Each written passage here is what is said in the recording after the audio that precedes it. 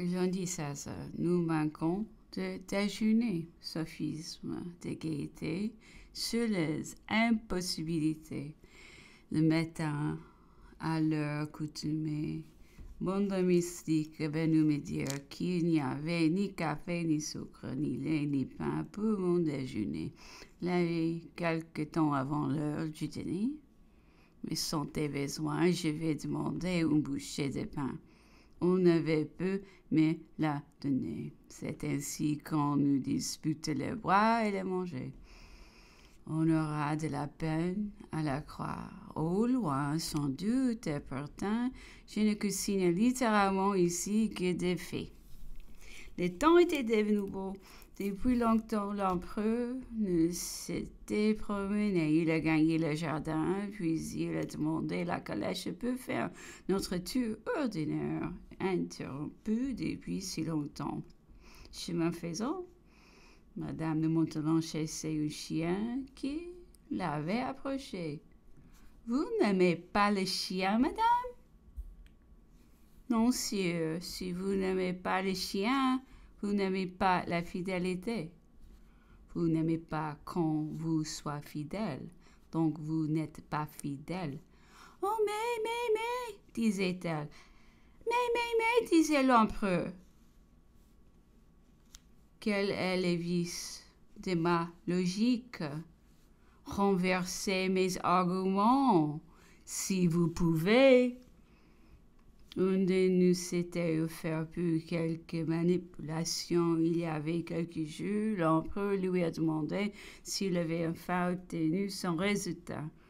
L'autre s'est plaint de n'avoir pas les objets nécessaires. Véritable enfant de la scène, disait l'empereur vrai, badaud de Paris que vous croyez toujours Tuileries?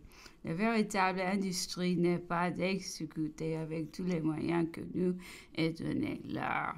Le génie est d'accomplir en dépit des difficultés et de trouver par là peu un point d'impossible. Mais d'ailleurs ici, de quoi vous plaignez-vous? De n'avoir point un pilon quand les premiers barreaux des chaises vous servi, de n'avoir point de mortier, mais tout est mortier autour de nous. Cette table est tout mortier, une casserole, un chaudron est tout mortier. Mon oncle, celles du premier venu sont des mortiers, mes véritables enfants de la Seine, a répété l'empereur qui se quoi toujours dans la rue Saint-Honoré, au milieu des marchés de Paris. Le grand maréchal a dit alors à l'empereur qui, cette circonstance, lui rappelait la première fois qu'il y avait eu l'honneur de lui être présenté et les premières paroles qui en avait reçues. C'était à l'armée d'Italie lorsque Louis Bertrand se rendait en mission à Constantinople. Le jeune général, le voyant officier du génie, lui donna une commission relative au métier. C'était peu loin de quartier général à mon retour, disait grand maréchal, j'ai vaincu Dieu que j'avais trouvé la chose impossible, surcroît votre majesté. À qui je ne m'adressais qu'en tremblant, me dit avec bonté. Mais voyons un peu, monsieur, comment vous y êtes-vous pris? Ce qui est impossible pour vous ne l'est peut-être pas pour moi. En effet, disait Bertrand, à chacun d'aimer moyens. Votre Majesté disait, je les crois bien, étant substitué d'autres si bien qu'un peu d'instinct il me fallait être convaincu, mais non sans importer un sentiment profond de, souvenirs qui m'ont bien souvent servi depuis.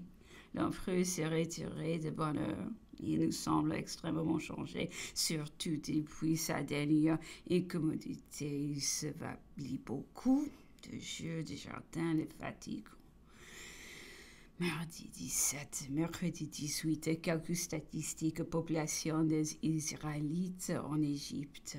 Les temps s'étant remis au beau, l'empereur vit quelques jours de jardin, nous étions tous après de lui. Au bout de quelques temps, il s'est je veux le boire.